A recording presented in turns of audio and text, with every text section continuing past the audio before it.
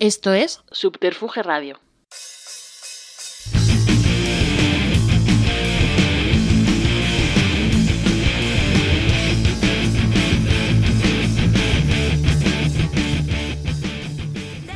Bienvenidas y bienvenidos a una nueva y sin duda espectacular entrega de simpatía por la industria musical en Subterfuge Radio. En una ocasión que el estudio Alfonso Santisteban de la calle Almirante luce de manera radiante acorde a la estrella que hoy nos visita. Alguien al que la palabra grande se le queda pequeña, al que hubo que cambiar el oro y el platino por el uranio porque sobrepasó todas las barreras alquímicas y al que ya muchas generaciones le reconocemos como la voz de este país. Así que sí, que esta vez sí, que el honor del que suscribe se hace inmenso, el orgullo del dial que nos acoge se ensancha hasta el más allá y la deuda y el agradecimiento a la vida se hace aún mayor por el placer que se nos concede. Hoy Simpatía por la Industria Musical, en el estudio Alfonso Santiesteban de la calle Almirante, recibe a la leyenda de la música española, al grandísimo, irrepetible, reivindicable y necesario Rafael. Bienvenido. Hola. Nada, un auténtico ¿Cómo placer. estás? Muy bien, muy bien, muy bien. Nada, encantadísimo y bueno, es, es un honor y, y, bueno, aunque hemos hecho un montón de, de, entrevistas, que sepas que bueno, con esto cumplo yo un sueño y bueno, todo el equipo de Subterfuge Radio, teniéndote aquí, que eres, bueno, pues representas tantísimo para la música y al fin y al cabo es nuestro ADN, que, así que nada, bienvenido, de verdad, muchísimas gracias. Gracias. Bueno, de entrada decía, te he dicho fuera de micrófono que bueno, que entrar en profundidad en tu, en tu carrera con, con ese, fan, ese fantástico documental de Charlie Arnaiz y Alberto Ortega, que es Rafaelísimo, ya es casi una butada. Entonces, bueno, pues te voy a hacer una serie de preguntas, una serie de cuestiones y vamos hablando de lo A la limón. A la limón, claro que sí. Bueno, eh, una carrera interminable de corredor de fondo, como muchas veces eh, se te ha descrito. ¿Te identificas con esa de definición de corredor de fondo? Sí, se podía, sí, sí. Corredor de, fo de fondo o cantador de fondo. Cantador de fondo. Sí, bueno, sí, eh, más que nada, bueno, pues te... O mejor artista de fondo. Claro, esa, esa no, no, no has parado en todos estos años. Y bueno, y siempre has dicho, ¿no? Que, que hay que, que, reinventarse sin dejar de ser uno mismo. O sea, que eso implica también, pues al final es como ese corredor de fondo, ¿no? Que, que, que se dedica a la, a la, competición, a las carreras, pues al final también ese entrenamiento parte también, ¿no? Esa, esa propia reinvención permanente, ¿no? Así es, no, hay que estar, y además hay que estar renovándose constantemente. Uh -huh. Yo diría que hasta diariamente. Pero no solamente por, por, te, por, las canciones, sino por ti mismo, por, para todos los días estrenar cosas, ¿no? Claro. Y cara, cara al público igual.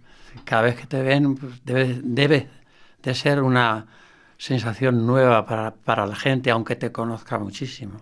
Total, pero es una re, es esa reinvención de la que hablas que, que, bueno, yo por ejemplo desde fuera me genera cierta ansiedad en el sentido de que, claro, tienes que reinventarte, pero a la vez tienes pero, que mantener ese repertorio claro, que todo el mundo quiere. Sí, escuchar, no, no, no, eso es vital. O sea, la, la, la primera que, que, la primera cosa que hace falta cuando haces un concierto es que la gente escuche lo que quiere escuchar. Uh -huh. Pero tú tienes que ser lo suficientemente, digamos, listo para ir metiendo canciones nuevas, porque así ellos las van descubriendo. Y entonces al año siguiente las que te piden son las nuevas que tú quieres cantar, ¿no? Es, eh, hay, que, hay que estar muy atentos siempre a eso. Siempre al público hay que darle lo que él quiere, claro. pero también enseñarle, mostrarle lo que estás haciendo nuevo. Claro. Porque si no, eh, viene esa frase de siempre hace lo mismo o siempre canta lo mismo. Sí. No. Canto lo mismo cuando ustedes quieren, pero claro. cuando yo quiero, me escuchan lo nuevo y después elegimos. Bueno, hace poco leí una, una entrevista con, con, un colega tuyo, con Víctor Manuel, donde él decía que solo salvaría un 10% de, de, de, su repertorio, ¿no? El tuyo tiene que ser un dolor de cabeza, ¿no? Cada vez que, que, que planificas una gira, ¿no? Para hacer esa combinación. Es complicado, es complicado. Porque como te digo, hay que, hay, hay que tener en, eh, en, la cabeza eso, que al público hay que darle lo que él quiere. Uh -huh. Y después tienes la obligación de enseñarle lo nuevo que estás haciendo. Uh -huh. Y de eso nuevo, pues a lo mejor pues el 50% pasa, uh -huh. pero hay otro 50% que se queda. Total. Y se va añadiendo. Y luego viene el problema, al cabo de los años, que ¿dónde metes tanto? Claro. Y ya los, los conciertos se hacen largos, largos y hay que cortar, hay que cortar. No, eh, olvido Alaska, buena amiga tuya y de esta casa, Sí. lo, lo explica muy bien en el documental, ¿no? Me dice, pero ¿cómo puede quitar esa canción o la otra, no? Y se hace realmente complicado, ¿no? Pues fíjate, yo eh, en eso, a- a- es verdad que yo a veces me canso de alguna canción, me canso. Y, y la quito, y la quito. Así en, una- en un arrebato la quito. Y, pero al cabo de los días, o por ejemplo al mes, la extraño y la vuelvo a poner. sí, porque en definitiva son como hijos tuyos, ¿no? Mm, Totalmente. aunque no las haya escrito yo, yo las he provocado. O sea, son, son cosas que han nacido por, por mi culpa, o sea, del autor, y después yo porque le he machacado para que, para que eso dé su fruto, ¿no? Pero es, es maravilloso eso, esa rutina de, de ver cuál pega, que no te has equivocado, o que sí te has equivocado y tiempo de rectificar y hacer otra cosa más de acorde con lo que el público quiere. Porque el que tiene, tiene siempre la razón es el público, punto. Es el que manda. Sí, Claro. sí, sí, sí, sí, sí. Porque tú lo ves, o sea, sacan gente, sacan gente que igual que llega se va Total. porque no- est- están dirigidos por otras personas y ellos no viven en primera persona lo que está ocurriendo. Pero el artista sí, porque es el que está dando la cara y sabe que eso no está entrando, que no le entra a la gente. Y a, a veces hay discusiones con, con los compositores cuando intentan que hagas una cosa y tú dices, es que por ahí no. Pero si esto, no, no, en mí no. Eh, no. Tú, tú, sígueme, sígueme a mí. Bueno, ya sabes que en, en- en este podcast sobre, to- sobre todo lo que intentó es, es hablar también mucho de la trastienda, ¿no? Al final, de, de, de hecho, se le da voz a mucha gente que, que trabaja en la industria que quizás, bueno, son muchas veces los que generan, bueno, los que ayudan, ¿no? A, a generar el éxito o las carreras de, de los artistas, ¿no? En tu caso, ya te digo, me, me gusta muchísimo, bueno, esa canción maravillosa, ¿no? Que es Volver a Nacer, ¿no? Donde hablas eso, ¿no? Mm. De que pasas de, de las grandes, de la grandes. niñez a los asuntos, ¿no? Al final eso, pues de, de- de la niñez a tu garganta, ¿no?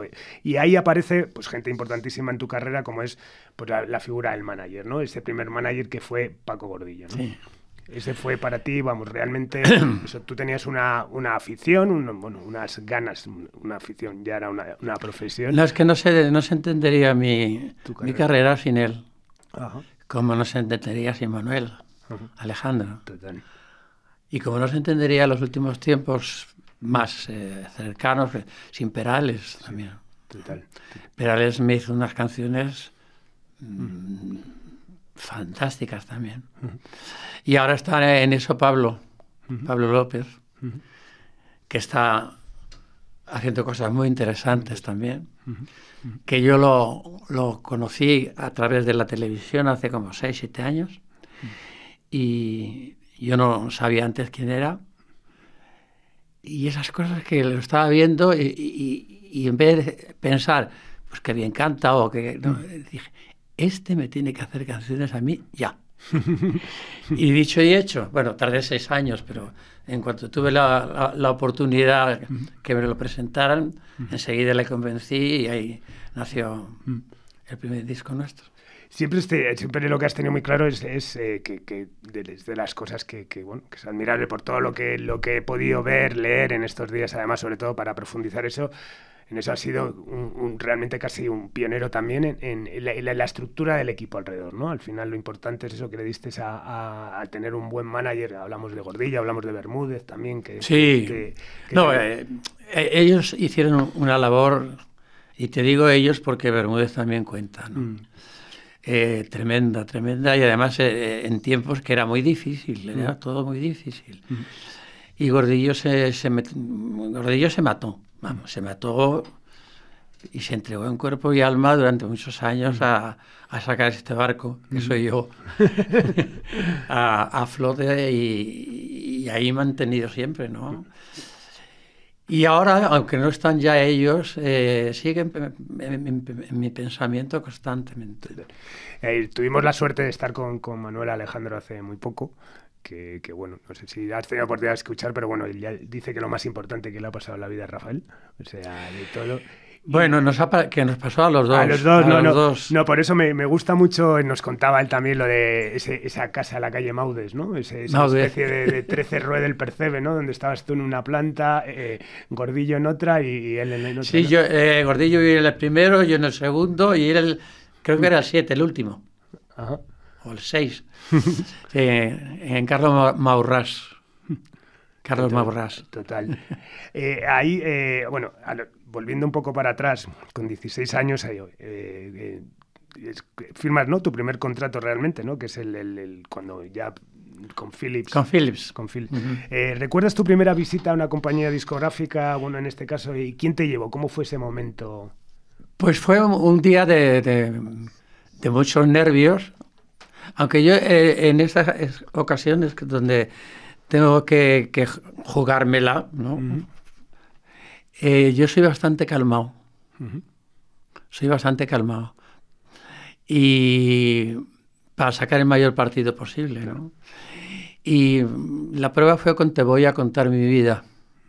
Una canción que me había hecho Manolo, que nunca conté en mi vida. Pero la canción se llama Te voy a contar mi vida. Y ese día firmó mm, también el contrato de Miguel Ríos. Ese mismo día. Y yo, una chiquita que se llamaba Lee Morante, que nunca más supe de ella, pero de Miguel sí, claro. Y, ¿Y un día de nervios, pero que Manolo llegó tarde, como era habitual.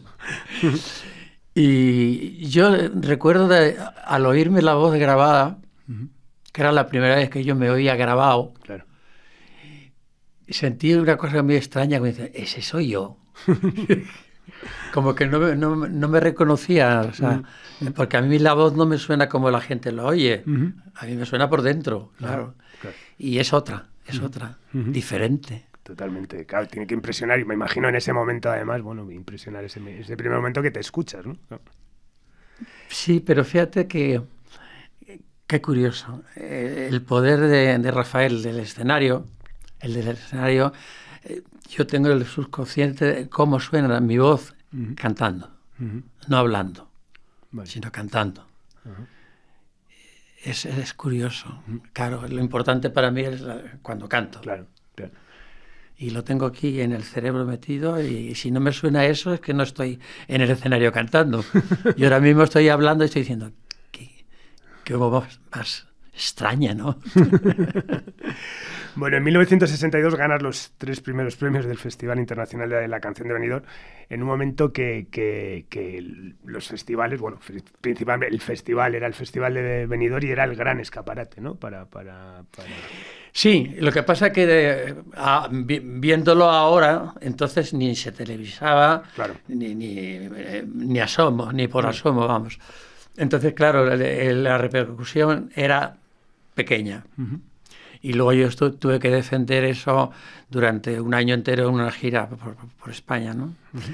Pero bueno, yo todas las cosas que me, han ido pasando, pues siempre ha sido un escaloncito que he ido subiendo o por lo menos estabilizándome y para mi tranquilidad y la de los míos y siguiendo siempre una carrera sin concesiones extraña, sino haciendo siempre lo que yo he querido hacer. Nunca me he visto obligado a hacer cosas que no haya querido hacer. Y eso, eso está muy bien porque es muy saludable. No tener que echarle la culpa a nadie de nada. O sea, la culpa es mía.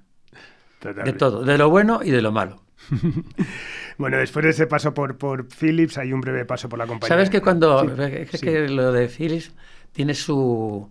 Yo en ese año fui comprado y vendido como si fuera, sí, como si fuera un futbolista de esto de, ah. de primera en la actualidad. Philips,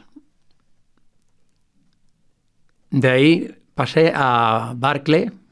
La compañía de Milo. Sí, francesa. Empecé a cantar en francés. De Barclay, que estaba en ese momento eh, en México Tomás Muñoz me oyó, creyó que yo era francés por la PH de mi nombre, que viene de Philips también. Y, y mandó que, que, hicieran las eh, gestiones pertinentes y me compraran, ¿no? me cambiaran lo que fuera. Eh, y, firmé con Hispavox, entonces. Después, ahí, eso fue como, sí. parecía un futbolista, pum, pum.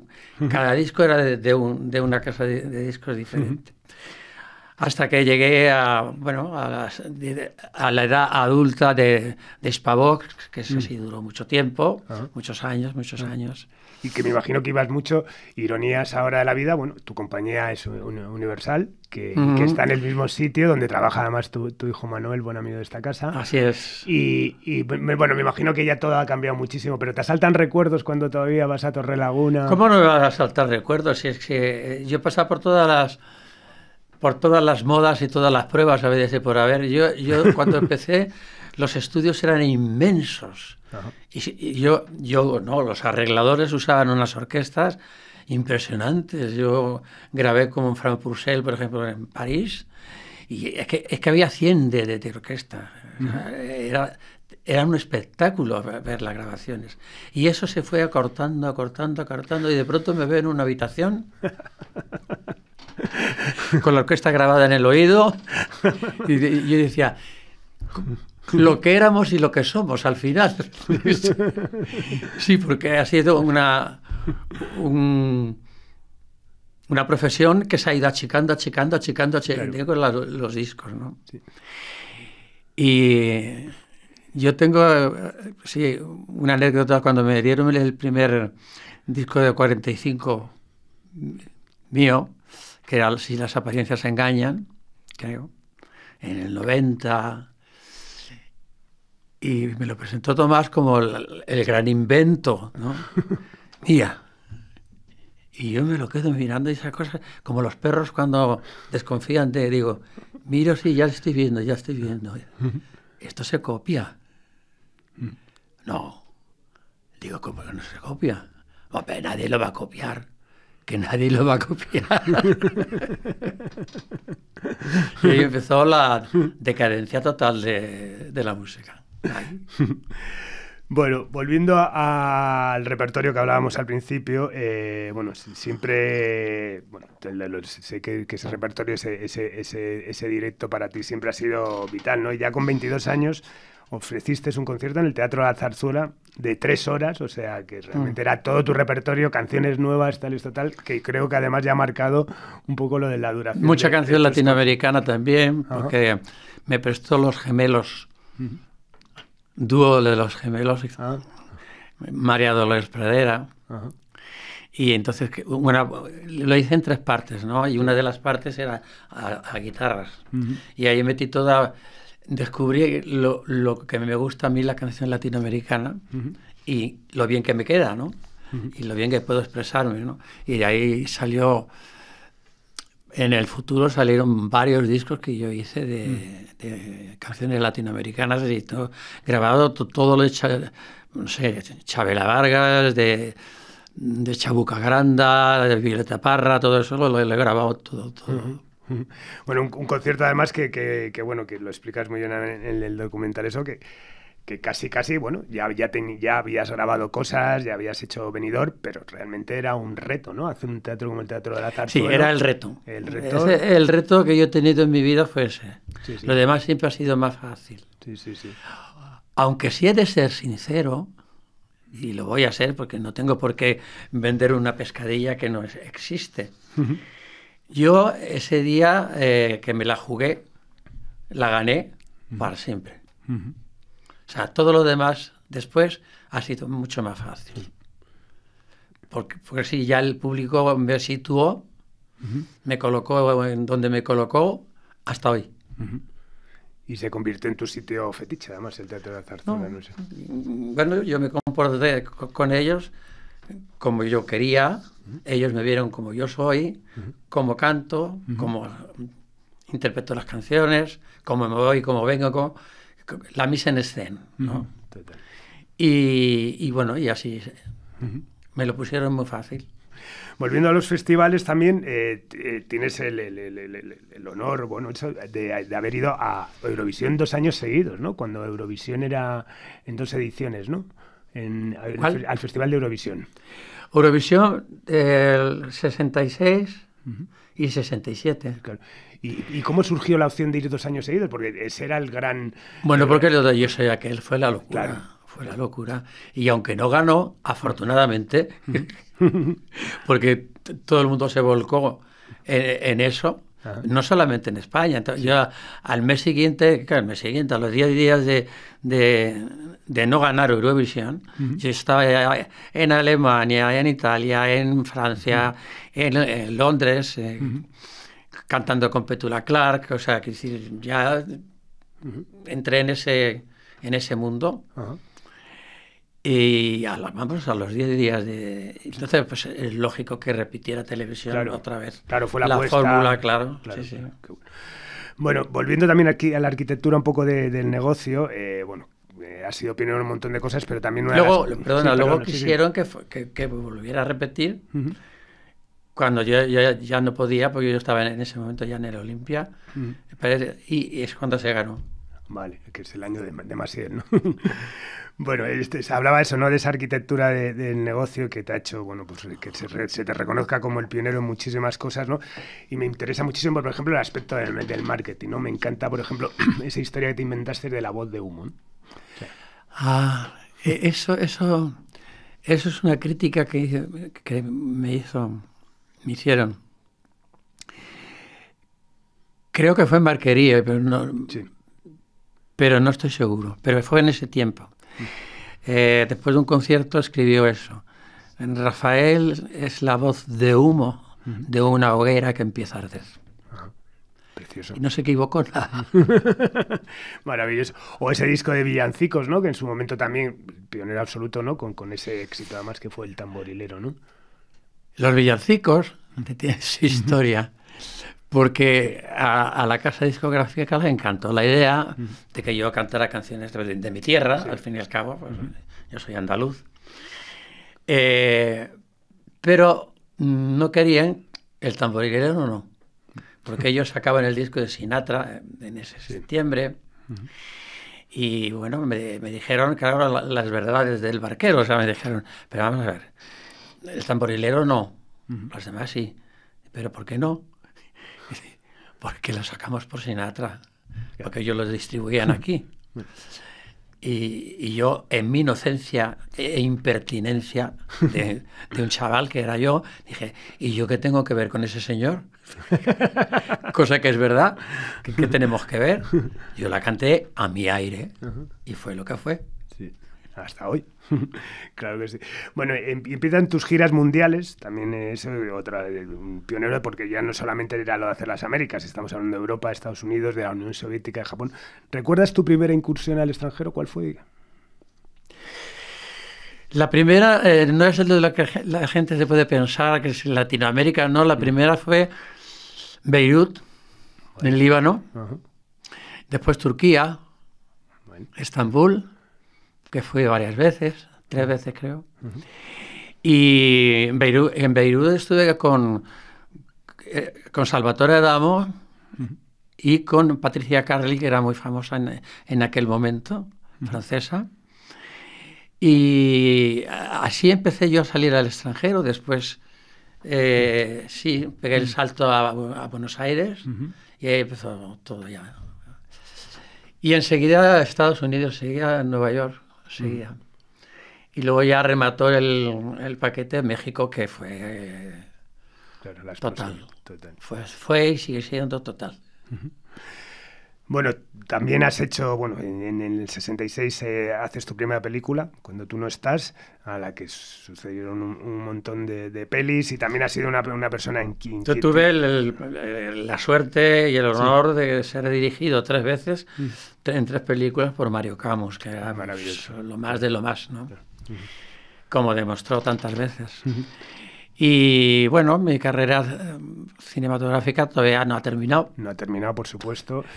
Y bueno, se puede esperar que cualquier día pues haga otra cosa muy interesante, vamos a ver. Sí, de hecho, bueno, creo que la última es la de Mi Gran Noche, ¿no? Mi Gran Noche, Con Alex de la Iglesia, que haces un, un papelón sublime.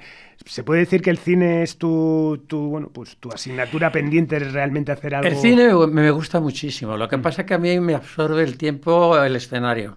O sea, la verdad, para hacer yo una película hay que plantearla con mucho tiempo, como se hacía antes las cosas, ¿no? Que, por ejemplo, una productora te contrataba por X películas y entonces empezaban a trabajar y te hacían los guiones y, y hacían las canciones, es decir, que todo tenía su tiempo. Pero ahora están más preocupados en conseguir el dinero a través de un banco para poder producir. Entonces, cuando tienen ese, esa parte eh, terminada, entonces piensan en lo artístico. Y normalmente yo, yo ya estoy contratado, ya estoy en gira, entonces es complicado hasta conseguir... Mm. Para hacer mi gran noche fue un gran problema conseguir el tiempo. Claro, claro. Se pudo hacer, pero eh, fue el problema el tiempo. Porque claro, te lo dicen, ¿puedes empezar el mes que viene una película? Pues es que el mes que viene yo estoy Vaya hasta saber dónde. Pero bueno, sí, siempre que puedo yo haré siempre cine porque tengo muy, muy bonitos recuerdos. Y hecho unas películas muy... No, no, te voy a decir que se llevaran un Oscar, pero en fin, son películas muy, muy para ver y para escuchar buena música. Sí. Aparte, bueno, que hay, bueno, hay un espectro también de temáticas, o sea, que no es que digas, no es que son como canciones, eh, eh, películas hechas para el lucimiento de, tu voz, que es evidente que es parte tal, sino que, o sea, hay, que hay mucho No, pero yo al cine, por ejemplo, le, le, debo mi entrada en, en Rusia. O sea, eso es el cine. Claro. Eh, porque la película mía, digan lo que digan, fue tal cosa allí, tal trayazo, que la doblaron al, al ruso y, me, hicieron ir. Y ahí empezó mi historia con Rusia. O sea que también yo al cine le debo muchas cosas importantes. No, al final también, claro, la importancia también de, ¿no? De, las giras. Hablaba Manuel Alejandro el otro día, claro, de, cómo planteabais las giras, porque, claro, esa era la forma de, que la gente te conociese. Ahora tenemos en internet, es YouTube, metes Rafael, te pueden encantar. Sí, pero no, pero no es lo mismo. No, no, por supuesto, por supuesto. Afortunadamente, la, gente siempre ha preferido verme en persona. Y eso es, es, un, es una suerte tremenda, porque normalmente de un cantante se suele, por lo, menos antes, comprarlo por el disco, ¿no? El disco, por la canción, tal canción que suena. Pero a mí lo que querían era verme en persona y eso para mí era un handicap a mi favor muy grande. Sí, pero que requiere también un sacrificio, ¿no? Me, imagino que cada vez que vas, vas, vas ampliando el, público y tal, pero has hecho un trabajo. Pero aquí, aquí hay la suerte de que a mí me entusiasma el escenario, me gusta muchísimo, es lo que más me gusta. Y a mí el, contacto mío diario con, con, el público es, es, lo que me pone, eh, porque yo soy artista de escena, siempre siempre lo he sido. Y lo demás es un poquito, bueno, además, además. Mm. Eh, lo más, eh, para mí grabar, pues es, ya no sé qué grabar, ya no sé qué, porque no me gusta repetirme, no, me gusta. entonces trato de, que eso ha sido muy bueno para mí también, porque he, tenido la oportunidad de tocar muchos palos, decimos los, los flamencos, tocar muchos palos. En fin, que esta, esta profesión lo que tiene es que es muy apasionante. Mm. Y si te gusta, más. Bueno, eh, hablabas de eso, de, además de investigar, y eso, has investigado también en el, cancionero latinoamericano, además que te ha servido para, que sea, bueno, canciones como Sandunga o como, como, como, Llorona, ¿no? Al final, en, temas que fueron exitazos en México. Siguiendo esa expansión internacional, que bueno, hay que ver el documental, esos momentazos y eso, como el, el programa de Ed Sullivan, o sea, momentos increíbles, o ese Madison Square Garden desolado Eso suena, no me digas tú. Buenísimo. ¿Cómo? ¿Está desolado? Sold out. Fantástico. Bueno, y el 3 de, octubre de 1967 actúas en el, en el Teatro Olimpia, 37, 35 canciones en casi tres horas de, de, de recital. Me imagino que, el Olimpia imponía de manera especial, no era el momento que era quizás el sitio más, importante. Sí, ¿no? sí, sí. Además, sobre todo porque había hay una historia importante, pues allí trabajaba Piaf. Piaf es el, mm. personaje de, mi vida, ¿no?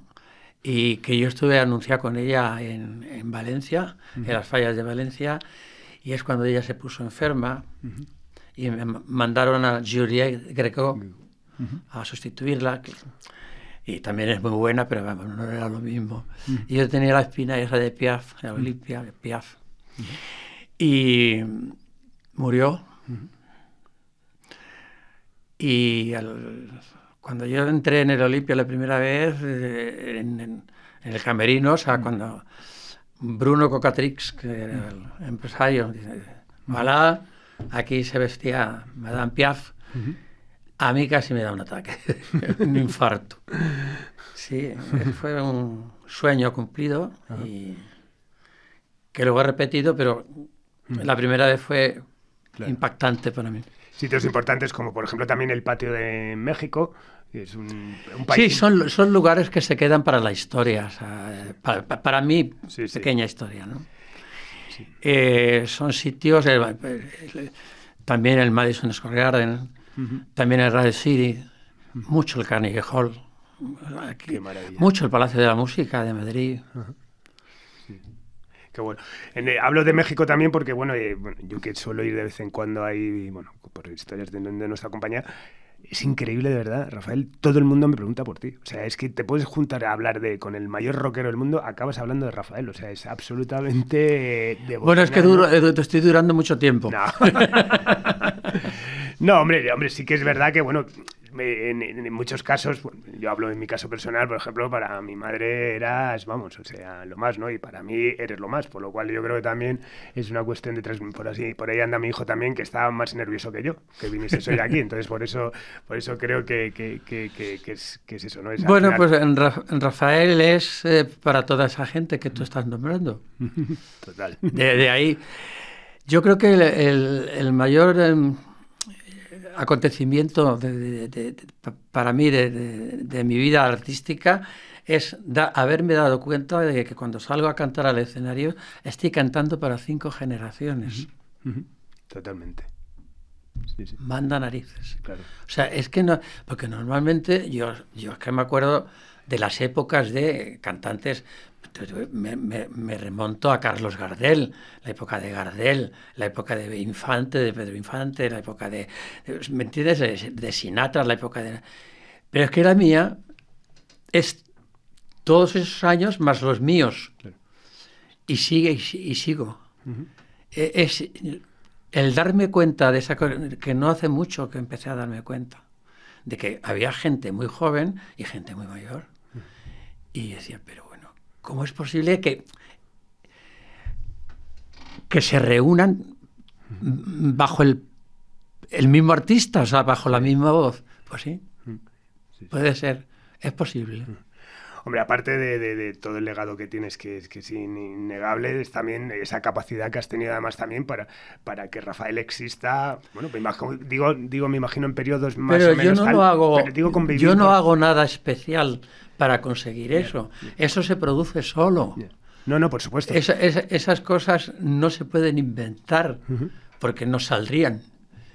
Eh, yo he intentado inculcarle mi forma de trabajar a mucha gente que me lo ha pedido. Dime tú cómo harías esto. Yo se lo he dicho, pero luego no resulta. Claro. Porque claro, es, que a mí me sale del corazón. Es diferente. no, es una cosa aprendida. Yo no he aprendido de nadie. Mm. Y eso Manuel Alejandro es testigo y está ahí. Rafael nació así, solo. Ah. Sí. Lo que pasa es que tuve la inmensa suerte de encontrar una persona que empezó a hacerme las cosas a medida. Eh, en, una, en una, un cumpleaños mío, que se hizo un libro y firmaron mis amigos, tal, tal, firmó mi sastre, mi sastre, eh, Cristóbal, que se llamaba Cristóbal, que en paz descanse, tu sastre. Y la siguiente hoja firmó Manuel Alejandro, pero tú otro sastre. Exactamente. O Manolo ha, tenido siempre la buena vista la, de hacerme unos zapatos a la medida, sin darme yo cuenta siquiera. Y además es que él hacía las cosas anticipadas. Volveré a nacer lo hizo mucho antes de que pasara todo lo que pasó, de que pasara que yo volviera a nacer de verdad, de mi trasplante y todas estas cosas. Mucho antes, parece que iba marcándome la vida antes. Qué bueno. Bueno, en plena, hablaba también eso de todas las generaciones que, que, que arrastras, que también, eh, claro, es una carrera muy larga que la que has tenido que convivir también eso, pues lo hablaba, ¿no? Hablaba, iba a decir de altibajos, pero yo creo que es de las carreras más sólidas que hay, pero por supuesto todo el mundo tiene tal. Vivir, por ejemplo, eclosión, la eclosión, ¿no? De repente por en, el 80, ¿no? La, la, movida, el tal, no sé qué, todo tal, que, que, casi, casi se toma como casi una, una, una, batalla contra, digamos, la canción más, más tradicional, pero sin embargo tú sales de ahí incluso beneficiado. Es que no, salí. o sea, yo me, sí, yo, yo me quedé en mi puesto y ahí está. Sí, sí. Y pues, ocurrió todo lo que ocurrió y estaba yo ahí. Total, total. y, y, fui a festivales de esos y eh, vamos, uno más. Sí, sí. Las modas me han pasado mm, rozando, claro. pero no hiriéndome, Totalmente. aportándome cosas. Claro. Porque yo de todo aprendo. Uh -huh. Yo de todo. Y de todo aprendo. Total. Sobre todo lo que no se debe hacer. Uh -huh. Yo soy muy crítico y entonces yo voy a, a, los sitios y estoy viendo lo que no se puede hacer. Porque lo que está bien hecho, pues ya está. Ya está hecho. Está ahí. ¿no? Pero estoy oyendo o viendo y, y, estoy diciendo, eso no se puede hacer. O sea, tú no hagas eso. bueno, Porque las cosas bien hechas es lo que está bien. Sí, sí. En el 81 hablábamos, es en la intro, ¿no? De ese disco de, de, Uranio. Mira, estamos hablando además en plena eclosión, ¿no? De, la modernidad. A ti te conceden un, un disco, un disco de, Uranio por la, a escala mundial, ¿no? Por, por, por, los discos que habías vendido en Hispavox. En 1987 dejas Hispavox y firmas contrato con Columbia Records. Eh, ¿Cómo surgen esos cambios de compañía? ¿Realmente fue traumático esos cambios de compañía o realmente, como el documental... Traumáticos no. No, no porque mm. afortunadamente yo tenía un nombre que era buscado. Claro. O sea, yo no tenía que ir a, a pretender que, que, me grabaran. Ya me... me o sea, puedes grabar para nosotros. O sea, la posición era diferente. que si... Quiero decir, yo tenía ya tantos discos que... Uh -huh. Grabar era una cosa más. Uh -huh. no, me, no, me, jugaba nada con eso, ¿no? Pero yo, aún así yo siempre le he puesto a todos mis discos, del primero al último, la misma pasión. La misma pasión, el mismo interés, y he luchado por ellos y las he cantado enseguida en persona para que la gente viera cómo son las, las canciones. Porque eso es muy importante, que la gente vea cómo son las canciones, no solamente oírlas es importantísimo el, uh -huh. el, interpretar una canción. Yo, por ejemplo, cuando tuve la oportunidad de, de, de cantar lo de los, los zapatos de, de, Pablo López, yo le, le, le inyecté la, el rafaelismo total ahí y él se, se quedó con, con mirándome diciendo, pero bueno, o sea, yo inventé una canción dentro de, de esa hermosura de canción, uh -huh. preciosa. Uh -huh. eh, porque todo tiene, la, todo tiene que tener la lectura bajo mi punto de vista. Uh -huh. O sea, yo no imito a nadie, yo tengo que, que, es un traje que yo me tengo que hacer, tengo que arreglármelo a, a mí.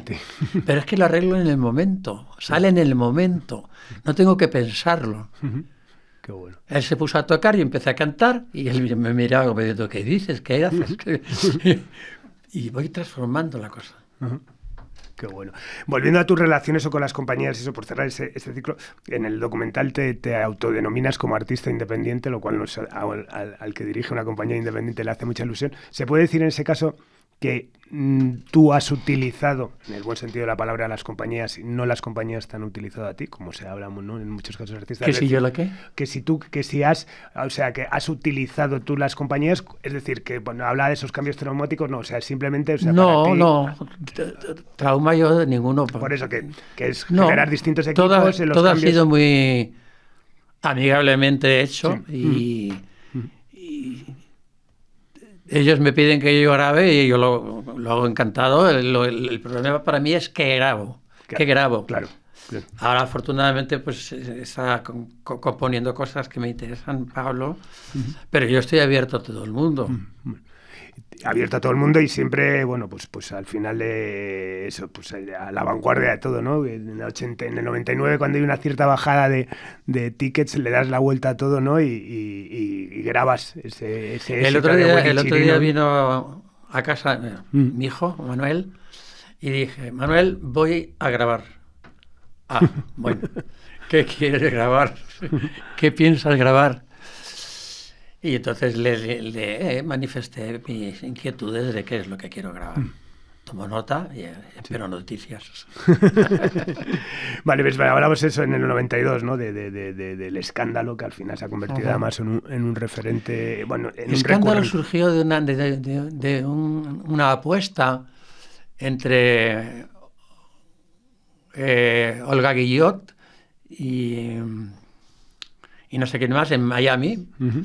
Y bueno, estaba Willy Chirino, por supuesto. Y era un, espectáculo mío y estaban comentando que cómo estaba yo y de voz y tal, tal, tal. Dice, "Eh, este canta, Willy Chirino, dice, este canta lo que le echen. Sea, dice, bueno, este rapear no creo. Y entonces Willy Chirino dice que no y me hizo escándalo. Exacto. Y con, con rap incluido. Sí. claro. Maravilloso. No, por eso, eh, hablando siempre de esa, de, de- de esa cierta capacidad de reactivación de la carrera, ¿no? Habl- Hablábamos también eso en un momento dado. eh, decides también, en el año 2000, ¿no? Eh, protagonizar una obra de teatro. Y encima, no querías teatro, toma dos tazas, ¿no? Doctor Jekyll. Doctor Jekyll y Mr. Hyde, estás durante siete meses. eh, ¿Cómo era subirse día, cada día, hacer encima pues, dos papeles? ¿Cómo recuerdas ese momento? Fue muy, fue muy duro porque yo estaba ya malo ahí. Estaba el malo. Mm. pero fue una experiencia inolvidable. O sea, para mí es lo más importante que yo he hecho. O sea, tiene, es de una profundidad tremenda. O sea, eh, yo viví unos días, además el director, Luis Ramírez, eh, cada día me, me- escribió una carta cada día después de terminar diciéndome todo lo que había hecho en la, en la función ese día, porque yo en- dice, estás todos los días innovando, todos los días. Eh, eh, eh, fue como un, un estudio psicológico tremendo. Yo tenía una presión muy grande. Fue un acierto hacerlo, creo. Aunque yo no era el momento para mí, porque yo estaba malísimo. Y bueno, afortunadamente todo salió bien al final. Claro que sí, todo salió bien y, Al final volveré a nacer, se cumplió también. y, de- y en- y después de todo lo que, que- que pasó después de, de- de esa obra de teatro, los problemas de salud, de eso, entre el 2003 y el 2004 realizas la gira de Vuelta a Tour, que te vuelve a reencontrar con, con tu público de manera pletórica. ¿no? Así es. Bueno, mi, mi conexión con, con- con el público es permanente y ellos saben que... A mí ahora que, que te preguntas cuándo se retira y esas cosas. ya he tenido que decirles claramente que yo no voy a retirarme. Claro, claro. Hombre, Soy consciente de que algún día me tendré que quedar en casa, pero ese día todavía está lejano. Pero retirarme no. Yo moriré siendo quien soy. Retirarme no. Claro. Me parece muy bien porque te, Este, te este no es un oficio, eso de, bueno, ya como no puedo pensar, pues ya, eh, no. Yo cantaré mientras tenga voz. Mientras mi voz funcione, cantaré. Qué bueno. Qué bueno, bueno, en, en 2011 grabas un disco donde recoges eh, rancheras, tangos, boleros, que te, te llevo en el corazón. Tangos. Tangos y boleros. Sí. ¿Cuánto, de- cuán- cuánto de importante ha sido Latinoamérica para ti y su canción? Importantísima. Vital. Vital. A nivel del, del público y... No, ahora voy para allá otra vez. Ujú. Ajá. Sí, empieza, empiezo la gira por, por, ma- por Chile, Argentina y Perú, pero los, son los primeros países. Eh, Es vital para mí, yo, mi visita anual, igual que, que, visito España y, y otros países, mm, no puede faltar, no puede faltar, porque son parte de mí. eh, yo llegué en un momento que, que, que, quiero pensar que les hacía falta un, un Rafael, porque no tenían de eso, tenían de otras cosas, pero no de eso. Y, y me quedé para siempre, para siempre. O sea, tú cuando planificas la, el, una, un lanzamiento sabes que... Eh, está es, planificado es, es, todas las ciudades de España que yo quiero hacer sí. y todas las que quiero hacer de América y todo lo que quiero hacer. Ah, claro. Y, y, todo se, se, va cumpliendo. Y eso lo, lo, importantísimo, bueno, que al final es, tener un buen equipo detrás, ¿no? Afortunadamente ahora tienes un equipazo que es RLM, eh, gracias a Pablo Noguera, además que está aquí presente. Al otro día hablando con Rosa Lagarrigue en una, en una, historia, en una cosa de Spotify, decía que lo difícil también ahora que también que es hacer las, las giras, ¿no? La cantidad de, de, de, de eso, de, trajes a medidas que tienes que hacer pues para combinar eh, aviones, llegadas, tal, tal. Mm. Lo importante de eso, ¿no? En, en, este caso, tener una ahora mismo, pues una oficina como es RLM, tener también a, a Universal. Es, con, es muy con... importante porque es complicado. Claro. Es complicado hacer casar todas las cosas y más ahora que yo quiero no quiero faltar mucho de, de casa, de España. Uh -huh. Entonces, pues hay que hay, las giras mías fuera tienen que ser mucho más cortas. Uh -huh. Muchas veces, pero más corto todo, más claro. corto, más corto claro. para que yo pueda ir y venir. Uh -huh. Totalmente. Complicado. Sí, eh, complicado, bueno, pues claro, hablamos de eso, hablamos de México, hablamos de Colombia, bueno, y luego, pues eso, también como en esa continua reinvención, de repente en el 2018 lanzas Resinfónico, ¿no? Que, que es ya darle una vuelta atada con, con eso, pues con, con, una orquesta, o sea, que es realmente darle encima una otra pirueta a tu repertorio, ¿no?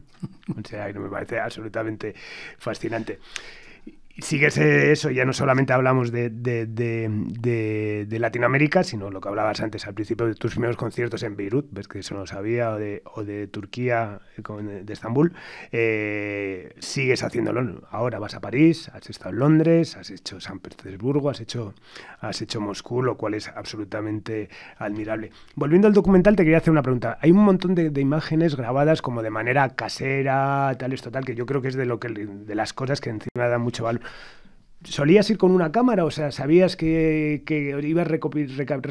¿Pero de cosas antiguas? Sí, de cosas antiguas. De repente, por pues, tu primera gira, tal. No, o sea, eh, como cosas domésticas sí, en el hotel, cosas tal. domésticas grabadas por, por el que después fue, es director, que es mi hijo Jacobo. Jacobo, también buen amigo. Sí. Él tiene muchísimo material mío, muchísimo. Ah, sí, sí, de hecho es documental. de, de toda la familia, vamos. Sí, sí. Pero bueno, que salen eso, incluso eso de, de conciertos, de giras, tal, y dices, mm. joder, qué, qué, qué, maravilla, ¿no? Bueno, en otra de las cosas también, volviendo al documental, es eso, pues eh, que, que, ya has hecho yo creo una pincelada, ¿no? Es la reflexión sobre, sobre la, la, la soledad, ¿no? El, asumir el, asumir el éxito cada noche, ¿no? En la habitación de un hotel, el estrés, todo lo que se ve desde fuera y piensas... Eh, siempre pensamos que el camino de la, que, el, que, la vida de un artista es un camino de rosas, del éxito y tal eso, pero al final está ese trasfondo, ¿no? Que al final es cuando todo acaba, cuando las luces se apagan, cuando llegas a la habitación y ya estás pensando también en... Sí, pero no es tan dramático, ¿eh? No es tan dramático. El problema es... Eh, el problema siempre viene con el, el descanso, el descanso. Uh -huh. si, si, no duermes, que era mi problema, uh -huh. eh, pues es, es malo ¿Te afectaban los cambios de horario de países? Tal? No, no, no. no, no, no se, bien. Se, eh, fue una época que no, no dormía bien y eso pues trastorna todas las cosas. Claro. el problema mío siempre ha sido el descanso. Uh -huh. Pero afortunadamente ya toda esa época pasó y, uh -huh. Y, estamos normales. Totalmente. Pero bueno, también hablas de eso, ¿no? De, lo que transmites mucho, evidentemente, es ese, ese amor por tu, tu, familia y lo importante, ¿no? Y quizás el gran pago de todo esto, ¿no? Es el de haber viajado tanto, es eso. Al final hablabas de que en algunos momentos hasta siete meses al año, ¿no? Por lejos de los tuyos, recorriendo el, el mundo. Fíjate, ¿no? yo, sí, yo viajo muchísimo, pero siempre estoy en casa. Uh -huh. Y más ahora con, con, los móviles. Claro, sí, sí, totalmente. Estás en casa. Sí, sí. O sea, ya la, las distancias son menos. Uh -huh. eh, porque este, uh -huh. ¿qué haces? ¿Qué coméis? O sea, estás en casa. Pues yo estoy comiendo tal cosa y vosotros estás en, sí, estás en casa. Entonces, es más fácil ahora, aunque la vida sea más complicada, porque es más complicada, porque somos muchos, mucho avión y muchas distancias, pero el móvil ha resuelto todo eso de un plumazo. Totalmente. estás en casa. Sí, sí. ¿Y eh, cuándo quién va a recogerme? Eh, o sea, se habla como si estuvieras aquí, al lado, y, llegas a casa. Pasa que sí, estás a no sé cuántos miles de kilómetros, pero el, eh, ha sido un buen invento el móvil para eso. Sí, sí, no, hombre, la tecnología en general, ¿no? También es eso, pues, pues yo cuando viajo antes te daba la sensación de que te ibas fuera y que como que ibas a estar muy desconectado y al final, bueno, pues con un delay de horas, pero, mm. pero estás perfectamente conectado. Y luego que sé, me imagino que no las utilizarás tú mucho, las redes sociales también, que, que, no. que estás en permanente, ves a gente que igual hace cinco años que no veías, pero es como los ves todos los días, casi lo que han comido y lo que tal, porque uh puesto las redes, es como... No, es, la gente está más conectada ahora que antes. ¿eh? Porque antes tenías un amigo en Córdoba y hasta que lo volvías a ver, pues pasabas siete años. Y ahora, no, estás al tanto de todo, ¿no? Totalmente conectado, sí, sí. Bueno, para ir terminando, háblanos de ese, ese museo en, Linares. Eh, al final ahí estás depositando un poco todo tu, tu, archivo. Sí, el otro día se llevó el coche mío, el, ah. el Lincoln Continental. Ah, vale, vale. Está ahí también. O sea, que se va ampliando permanentemente con cosas. Sí. Bueno, ese es el, mm. es el truco de este de este museo que no está dedicado a una persona que esté fallecida. Normalmente los, museos están dedicados a personas que ya no están. Y entonces, claro, eh, no, no aumentan nunca nada, ¿no? El mío, como yo sigo trabajando, sigo ganando cosas y, mm. y desprendiéndome de otras, como es el caso del coche, pues se va aumentando cada vez más. ¿Y has sido, digamos, guardón? ¿Nos has guardado cosas? ¿Has guardado copias de tus discos, de todo? Sí, sí, sí. sí, O sea, siempre sí. Es que muchos, la mayoría de los artistas dicen, oye, Verdaderamente no, yo, no, yo, pero mis hijos sí. Vale, vale, vale. O sea, que de eso ha sido, pues bueno. Bueno, que, Mis hijos y los coleccionistas que hay de cosas mías. Claro, no, no, no. Vamos, que hay sí una buena legión, ¿eh? Sí, claro. Sí, sí, sí, De hecho, eso, investigando en las redes y tal, hay cosas tal, de repente en Google era como una cantidad de gente, sí, sí, que tiene unas cosas mm. increíbles, sí, sí. No, se saben de pe a pa toda la historia, por eso no, no, no se les puede decir otra cosa porque dicen, ¿qué? No, vino tal fecha y tal fecha. Bueno, nos, nos has adelantado casi en primicia que, le dijiste el otro día a tu hijo Manuel que, querías grabar, por lo cual ya nos has dicho un poco en qué andas, pero eso, ¿qué, proyectos a, corto plazo podemos saber de Rafael? Bueno, eh, yo lo que tengo a, corto plazo, a cortísimo plazo, es la, próxima gira mía, ¿no? Y que daré por terminada en Madrid en diciembre próximo en el Within Center como siempre. Como siempre. Eh, como desde hace creo que 15 años seguidos o 16. Eh, voy a estar en las principales ciudades de España como, como Madrid, Sevilla, Barcelona, Valencia, Bilbao, Málaga, etc. Eh, descansar en verano, porque hace mucha calor y hay que descansar. y, hasta, hasta diciembre estaré con esta gira. Después preparo una gran sorpresa, pero eso no, puedo adelantar nada. Bueno, una pregunta así ya por curiosidad. ¿Utilizas las plataformas de streaming para escuchar música? Yo eh, soy voy de, ponerme la música que yo quiero oír en el momento que, quiero. Entonces eh, tengo que usar los discos. Los discos, vale. Me bajo a mi estudio y ahí es donde me empacho de música. Porque te sigue, te, te, te interesan eh, nuevas propuestas o siempre regresas a, los clásicos? Me gusta oír todo, o sea, me gusta mm, saber de todo y oír todo y verlo todo. Porque mm, yo lo que tengo que estar es enterado de todas las cosas. Las que no me interesan pasan y las que me interesan las la guardo. Y he observado eso que pues últimamente pues todo lo que sale pues es muy pas pasa mm. enseguida. no, no hay valores que, que estén diciendo que se estén haciendo oír de una forma continuada. No. Pasan, pasan. Pero bueno, de pronto llegará aquel o aquella o aquellos y dirán ¡buah! y pegarán el gran. Pues es que esas cosas pasan. Claro. Pero hay años que no pasan. Totalmente. Y hay años que, que sí. eh. Yo creo que es, es muy importante, es importantísimo llegar a tiempo. Las cosas a destiempo no, no, no, no echan su fruto porque no, no da tiempo. no- Pero yo creo que en la época que yo salí, y salieron otros también, ¿eh? no solamente yo, fue el momento. Y hubo una cantidad de, de- de artistas mm, fantásticos, fantásticos. Que fue la época, pues eso, de los 60, a los 70. Ahí salió Claro. todo lo que después iba a partir el bacalao. sí. Y siguen partiéndolo. Sí, sí. Sí, sí. Sí, no, hombre, es muy significativo, ¿no? Hablabas antes que el día que tú fichas, fichas también a Miguel Ríos, joder. O sea, Sí, Miguel, le firmaba el mismo día que yo, y ahí está Miguel. Totalmente. También Dando tuvi- guerra todavía. Sí, también tuvimos la oportunidad de tenerla aquí, fue, fue maravilloso. Bueno, siempre eh, suelo terminar con una pregunta en Simpatía por la Industria Musical, que, que- que, bueno, a la gente le raya poco, que es, es el rollo de, de quiénes han sido. Si tuvieses que dar las gracias de manera pública, decir, pues mira, yo gracias a, a esta persona, bueno, o a estas personas. A esta persona, solo a esta no, a estas. A estas. Bueno, Manuel Alejandro se dijo que solamente a ti. Bueno, es que Manuel Alejandro es punto y aparte. Vale, lo sé, lo sé. Manolo es punto y aparte. Manolo es- el sello. Total, total, sí, sí, sí. Junto conmigo es el, ahí nació. Pero Manolo es. No se, ni se comenta. Ya, total. Ni se comenta.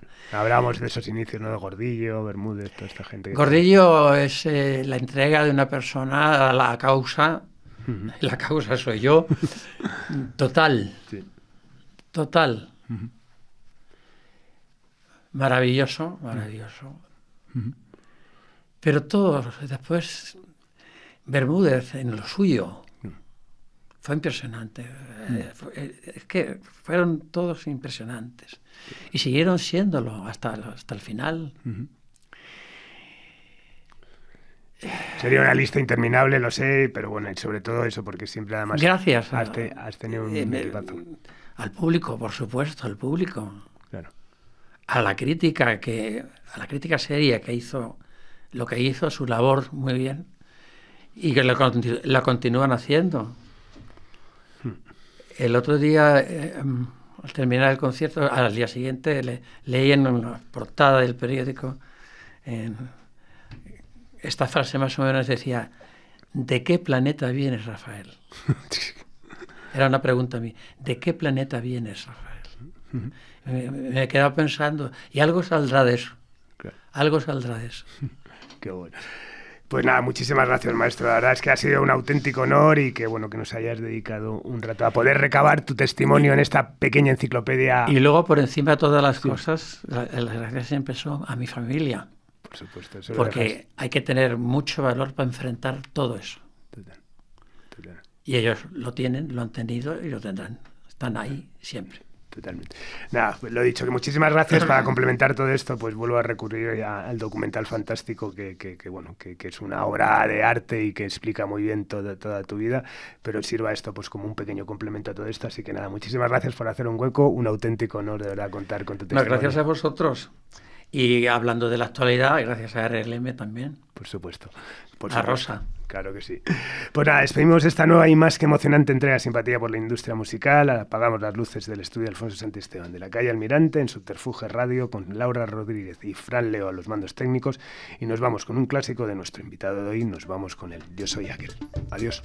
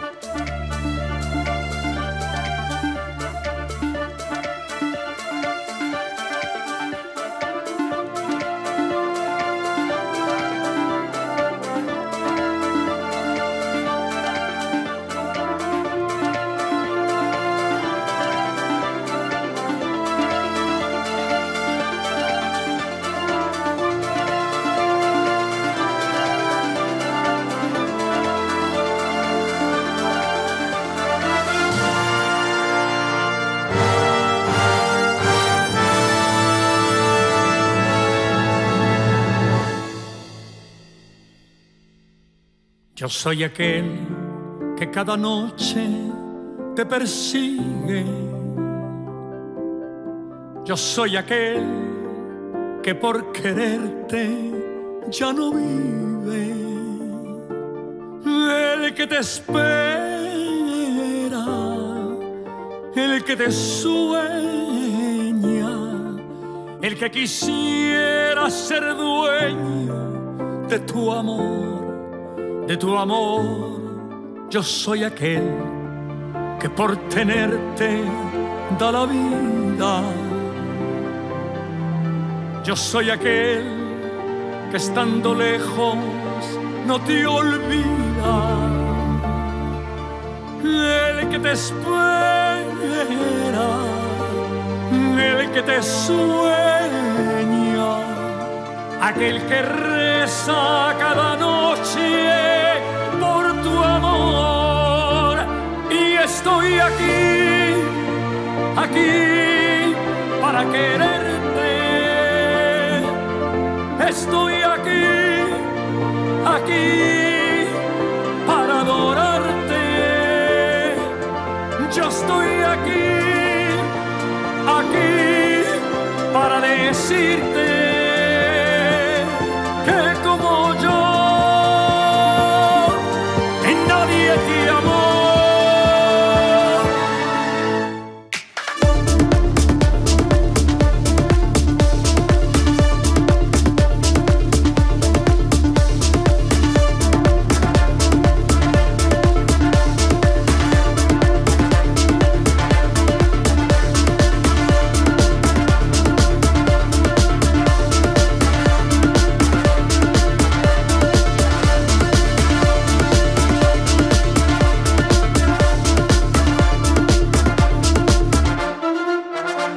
Soy aquel que por tenerte da la vida.